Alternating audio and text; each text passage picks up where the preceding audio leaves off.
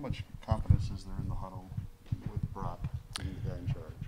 Um, you know, there, I feel like there's a lot of confidence. Um, you know, Brock has been our leader and our guy for uh, a lot of years now, and I feel like nobody's you know lost faith in, and faith in Brock, and uh, you know we all support Brock and everything that he does. Your season been like? You know, you were banged up, working your way back 100 percent, get the big touchdown.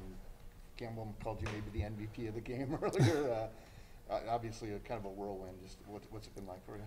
Um, you know, I was at the start of the season. It was uh, it was tough, you know, not being out there um, for the first time, kind of in my career. Um, but you know, I, I was doing everything I could to get back, and you know, I'm, I'm blessed to have you know good trainers and everything, and they helped me get back, and I can't really thank them enough for you know getting me back to 100 percent. Was it like getting that touchdown on that drive that you were on the field just over 10 minutes?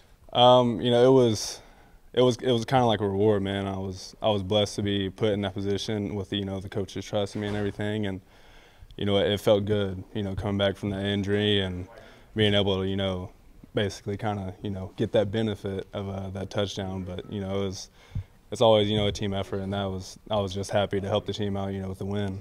Describe how good that throw was, because there was uh, you weren't open.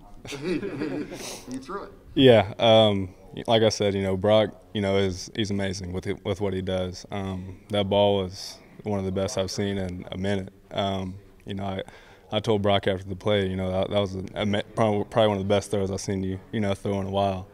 But uh, yeah, that was that was an amazing throw. What's it like to play with a quarterback that's playing with that level of efficiency and accuracy?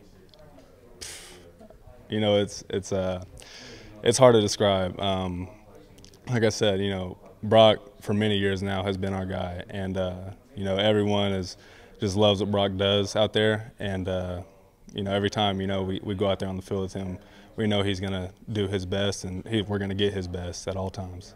You see yourself having a particular role in the receiving corps, or just take it as it comes? You know, um, I'm just kind of taking it as it comes. Um, I would love, you know, for whatever role they give me. Um, just I'll just keep going, and whatever they ask to do, I'm gonna do it.